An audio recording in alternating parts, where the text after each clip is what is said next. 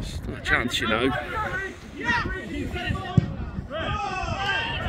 It's in the back of the net. It's another goal. It's 2 0. What a start this has been for Langford.